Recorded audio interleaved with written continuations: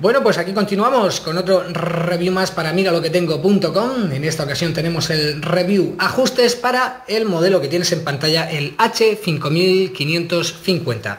En este review vamos a tratar de explicar, pues, eh, primeramente, la primera sección vamos a explicar la barra de estado, que es la de ahí arriba, eh, cómo es esta pantalla de inicio y después, por último, para terminar, los ajustes del teléfono, ¿vale? Cómo se configuran estos ajustes, que sería así, ¿lo veis? También, antes que nada, antes de esos ajustes, también voy a enseñaros cómo se cambia el launcher. El launcher, pues es esto, ¿no? Cómo se ve esto aquí. A mí no me gusta personalmente el Go Launcher, que es el que viene instalado. ¿De acuerdo? Bueno, vamos a empezar con la barra de eh, estado o de notificaciones. Mira, la barra de notificaciones se abre así, ¿lo veis cómo lo hemos abierto? Lo hemos cerrado, pues se cierra así también. O bien, directamente le damos a la flecha de para atrás. También nos valdría.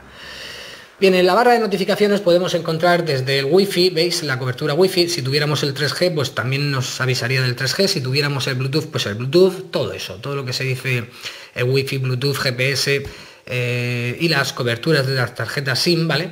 Y la batería y la hora, al igual que la fecha, ¿lo veis?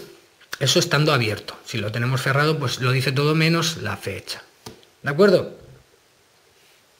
Lo abrimos y en esta barra de notificaciones también vamos a poder encontrar pues eh, cómo activar y desactivar el wifi, activar y desactivar el bluetooth, activar y desactivar la conexión de datos, el GPS, eh, ponerlo el sonido, ir cambiando el sonido, si lo queréis, los perfiles de audio que tengamos y el modo avión que lo desactiva todo, ¿de acuerdo? Y aquí podríamos ver las notificaciones, como puedan ser un email, como puedan ser un, un MMS, un SMS, un mensaje de texto o alguna advertencia que nos dé el teléfono. Y aquí veríamos nuestros operadores. Creo que a lo mejor no veis mucha luz, vamos a hacer una cosita para remediarlo, se ve a lo mejor mal, vamos a bajarle el brillo al máximo, es una pantalla con mucho brillo y evidentemente pues eh, absorbe, ¿no? Es, lo absorbe de todas formas el autofocus, ¿no? Bien, eh, bueno, vamos a empezar, hemos dicho ya lo de la barra de estado, como se hacía, Después tenemos la pantalla de inicio, pero antes de todo esto quiero cambiarle el launcher, ¿vale? A mí no me gusta este launcher para explicar las cosas. Así que nos vamos a ir donde pone ajustes, ¿vale? Nos vamos aquí, nos vamos a donde pone aplicaciones, ¿lo veis? Damos a administrar aplicaciones y aquí le vamos a borrar todo lo que tenga referencia con Go, Go, Go, Go. ¿Lo veis que tiene cuatro Go's? Pues lo vamos a cambiar. Los borramos. Vamos a empezar por el Go Launcher, que quizás borrando uno, vamos a forzar la detección detención, perdón, eh, le vamos a borrar valores predeterminados, vamos a borrar los valores y vamos a desinstalarlos. No os preocupéis porque luego lo podéis recuperar restaurando el teléfono a los valores de fábrica. Aparecerá de nuevo el launcher. Bueno, vamos a eliminarlo todo. Todo lo que ponga Go.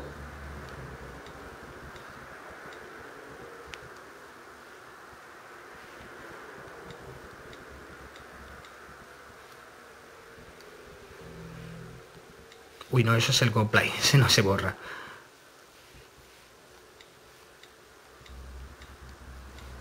Bien, pues ya lo tenemos desactivado y ahora tiene que aparecer el launcher que a mí me gusta. Este es el launcher que a mí me gusta. ¿Lo veis como ya tiene otra, otra forma y todas esas cositas? Pues este es el launcher Chachi Piruli, para mi gusto. El que no le guste, pues ya sabe cómo conseguirlo. No lo borre o lo deje o lo que quiera hacer. Bien, vamos a ver, mira, aquí podemos cambiar el fondo de pantalla. En la pantalla de inicio podemos cambiar. ¿Cómo? Bien, lo podemos hacer dándole al botón de menú y pulsando en fondo de pantalla. O bien le podemos dar directamente en algún huequecito donde no haya ningún icono o una barra de estas, un widget, ¿vale? Lo dejamos pulsado unos segundos y aparece fondo de pantalla. También podremos añadir accesos directos. Esto es un acceso directo, ¿lo veis? Estos cuatro que hay aquí abajo, pues esos son accesos directos. Podemos añadir un widget, como se diga en inglés, lo siento, mi pronunciación es malísima. Bueno, malísima no, lo que viene después. Eh, widgets, ¿lo veis? Es esto, una barra parecida a esta, una barra o algo más grande, más pequeñito, pero un widget, no es como esto, ¿de acuerdo? Vamos a poneros un breve ejemplo, por ejemplo, pues el tiempo, que nos diga el tiempo no queda espacio, no queda espacio aquí, pues vamos a buscar una página en vacío, es que ese es demasiado grande, ese widget. Vamos a ponerlo, como veis, es un widget, ¿lo veis? Bien, lo borramos.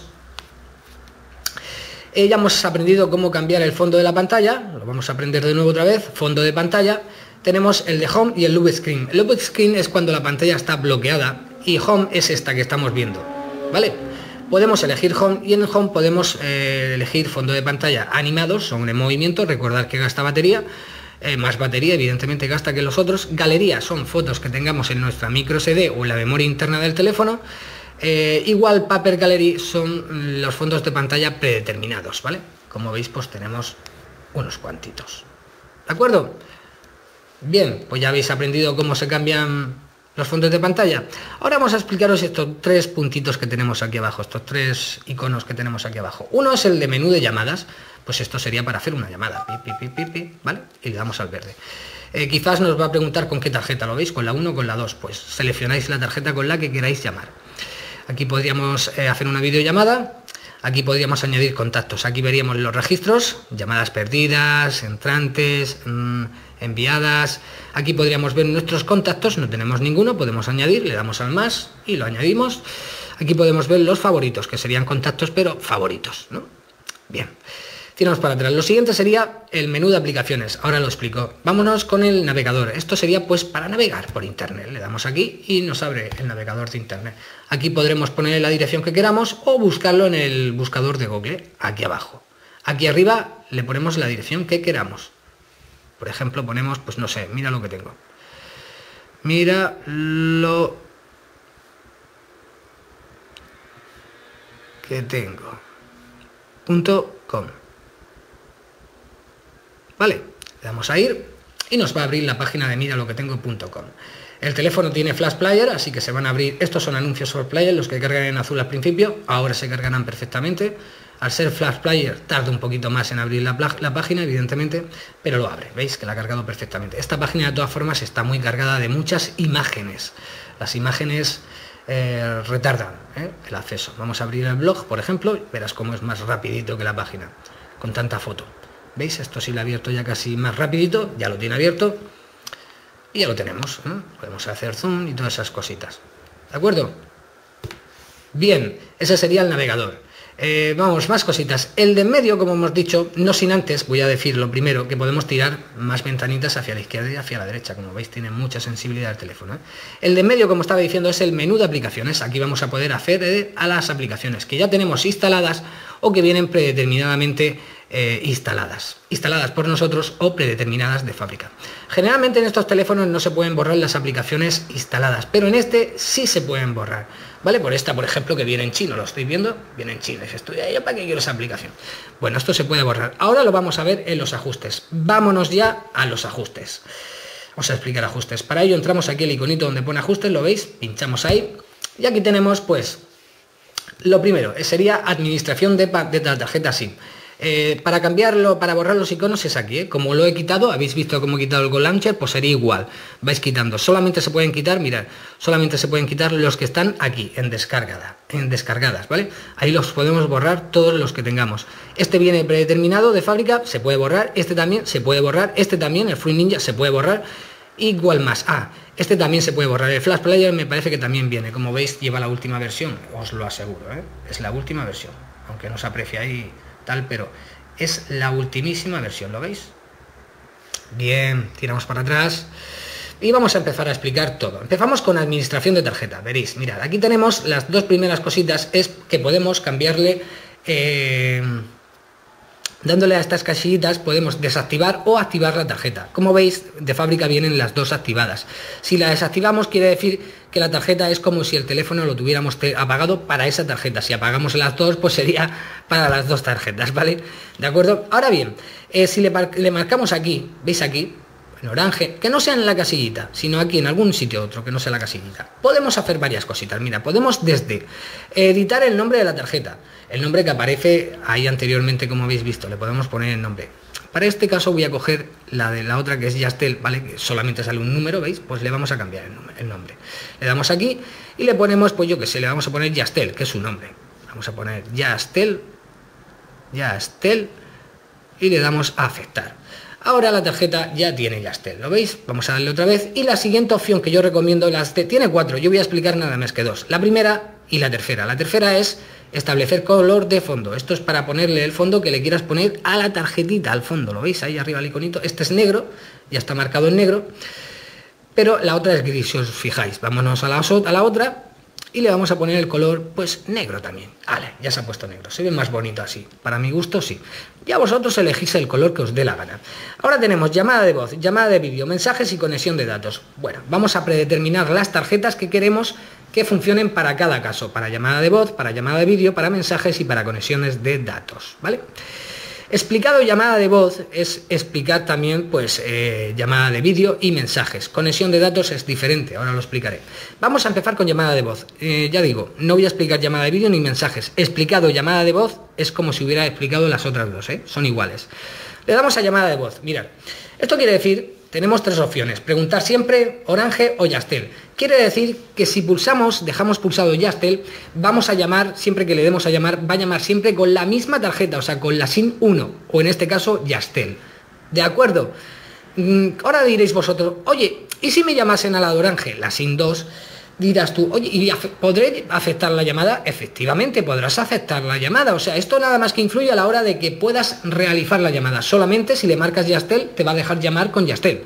Pero recibir las llamadas las vas a recibir en las dos. Yo recomiendo siempre dejarlo en preguntar siempre, tal y como viene de fábrica. Esto quiere decir que cuando vayas a hacer una llamada, te dirá con qué tarjeta quieres llamar, con la 1 o con la 2 pues le das a la tarjeta que tú quieras.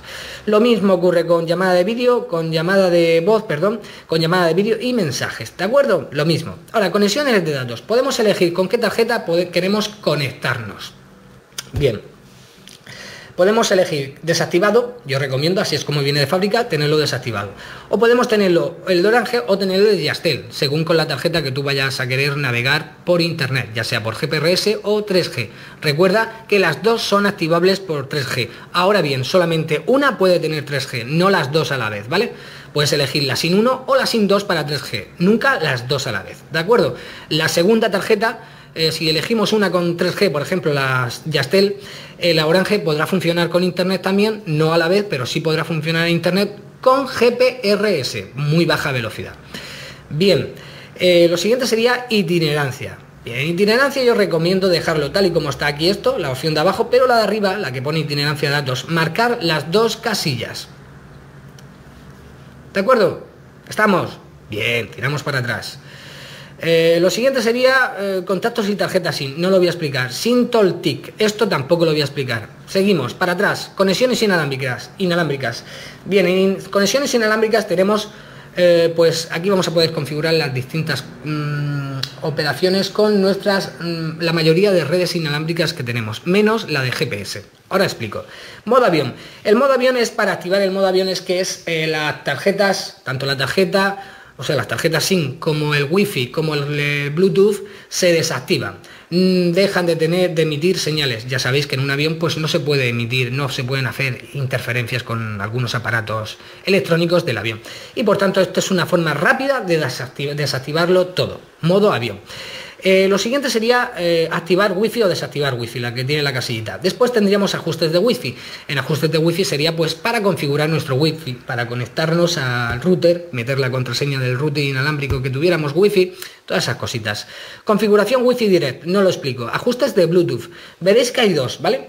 Bien, el de la casillita es para activarlo y desactivarlo. El que no tiene la casillita es para configuración del Bluetooth, ya bien sea para cambiarle el nombre al Bluetooth, al nombre del aparatito, para cuando nos detecten, detecten ese nombre, eh, para dejarlo visible el, terminal, para que cuando busquen nuestro terminal lo encuentren. Y también podríamos hacer, entre otras, más, otras muchas cosas más, podríamos pues buscar mmm, Bluetooth por alrededor de nuestro teléfono. Bien, lo siguiente serían cajas, red y zona wifi. Esto básicamente es que podemos utilizar nuestro teléfono como un punto de acceso wifi y un punto de acceso eh, USB modem. Lo que queráis. Yo recomiendo siempre leer donde está en ayuda. No voy a explicar mucho más de aquí. Ajustes de red VPN. Bueno, no lo explico. Redes móviles. Aquí vamos a poder configurar, pues, lo más importante, el uso de datos. En el uso de datos vamos a poder predeterminar una tarjeta para que, eh, perdón, en el uso de datos no, perdón, me he equivocado, lo siento. Servicio 3G. Mirad, en servicio 3G podemos convertir la tarjeta que queramos, la SIN 1 o la SIN 2, para que navegue por 3G. Lo podemos poner solamente en uno, lo veis, está puesto en Yastel. Pero si tú quieres navegar en 3G con la Orange, le marcas en orange. ¿Que no quieres ninguna? Pues le das a desactivar. ¿De acuerdo? Bien, esto es pues la preferencia. Eh, esto es que será automático, cogerá el GSM o el 3G, ¿vale? GPRS o 3G. Y solo WCDMA es solo 3G. No recomiendo este modo, recomiendo los dos, ¿vale? Modo automático.